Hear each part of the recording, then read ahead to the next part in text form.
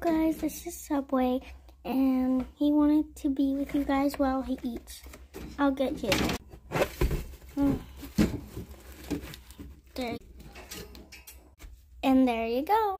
A happy bunny.